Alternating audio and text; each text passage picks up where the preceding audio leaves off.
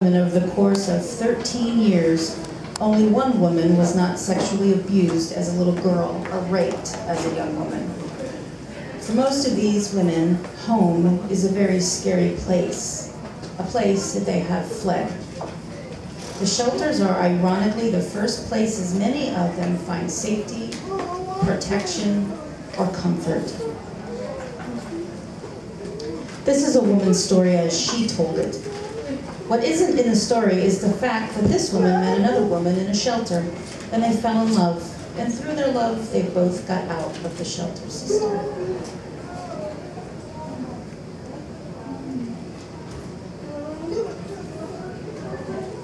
Now here's her story.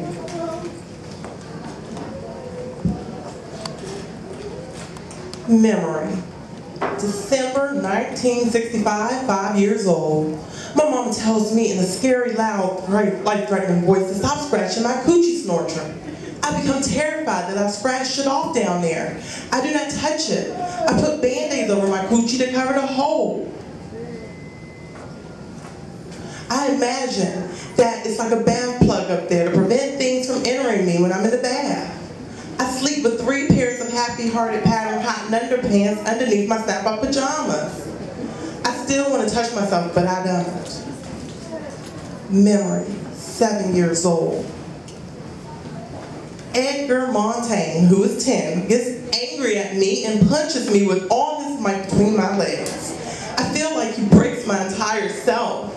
I limp home. My mama asks me what's wrong with my coochi snorcher, and when I tell her what Edgar did to me, she yells at me and says, never let anyone touch me again down there. I try to explain to mama he punched it. Memory, nine years old. I play on the bed, bouncing and playing and falling and impale my coochi snorcher on the bedpost. I make high-pitched screaming noises that come straight from my coochi snorcher's mouth. I get taken to the hospital and they sew it up down there. It's torn apart. Memory, 10 years old. I'm at my father's house and he's having a party upstairs. Everyone's drinking and I'm playing in the basement trying on my new cotton white panties and bra that my father's girlfriend gave me.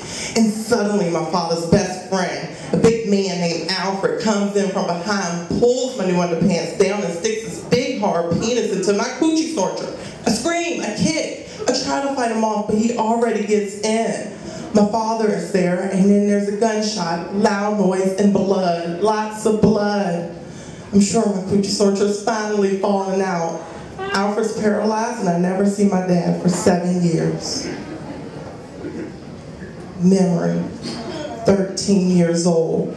My coochi snorcher is a very bad place. A place of pain, nastiness, punching, invasion, and blood. It's such a mishap. I imagine a freeway between my legs and I'm traveling, going far away from here. Memory, 16. There's this gorgeous 24-year-old woman in our neighborhood and I stare at her all the time. One day she invites me into her car. She asks me if I like to kiss boys and I tell her I do not like them. Then she says she wants to show me something and she leans over and kisses me softly with her lips and then puts her tongue in my mouth. She asks me if I want to come over to her house and then she kisses me again and tells me to relax, to feel it, to let our tongues feel it. My mama, I asked if I could spend the night. My mom was delighted that such a beautiful, successful woman has taken an interest in me. I'm scared, I can't wait.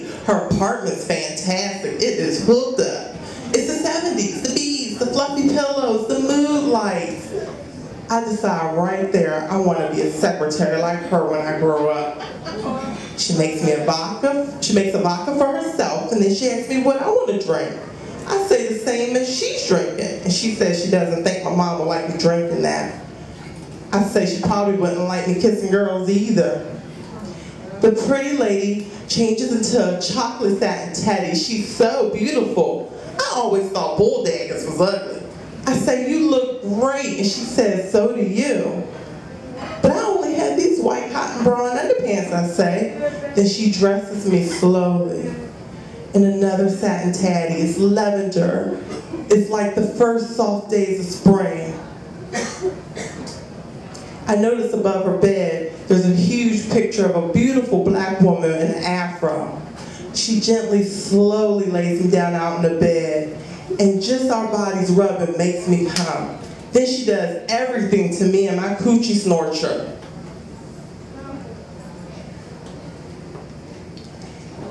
Then she tells me, your vagina, untouched by man, smells so nice, so fresh. Wish I could keep it that way forever. I get crazy wild, and then the phone rings. And of course, it's my mama. I'm sure she knows. She catches me at everything. I'm breathing so heavy, I try to act normal, and when my mama asks why I'm out of breath, I tell her I was just exercising. My mama says, make sure that there's no boys around here, and the beautiful lady says, trust me, there's no boys here.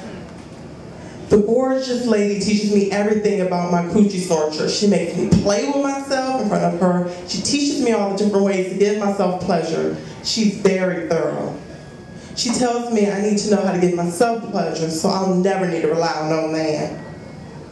In the morning, I'm worried that I become butch because I'm so in love with her. She just laughs, but I never see her again.